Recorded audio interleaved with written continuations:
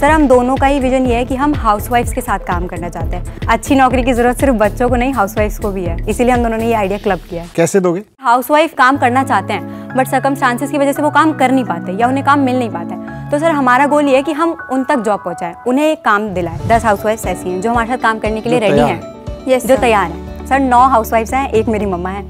अच्छा। हर इतवार शाम सात बजे